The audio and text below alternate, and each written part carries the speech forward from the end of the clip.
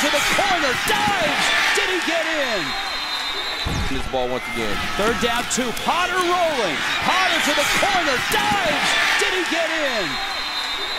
He can get a first down if it's not a touchdown. Flags come down.